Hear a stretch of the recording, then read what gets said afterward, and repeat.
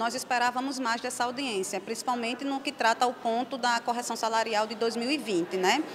É, a reunião iniciou com a secretária dando alguns informes dos pontos da pauta, que, é, com relação à correção salarial de 2017, que ficou, o município ficou devendo aos aposentados o mês de janeiro e o mês de fevereiro. O mês de janeiro pagou no final de janeiro e o mês de fevereiro vai pagar no mês de fevereiro. Sendo assim, quita essa dívida com o município referente à correção salarial de 2017. Com relação à correção salarial de 2018, é, a secretária informou que, por um equívoco lá deles, essa primeira parcela já não saiu no, no mês de janeiro, no salário de janeiro, mas que já vai sair agora numa folha no dia 15 de fevereiro, a primeira parcela referente ao retroativo de 2018, para ativos e para aposentados.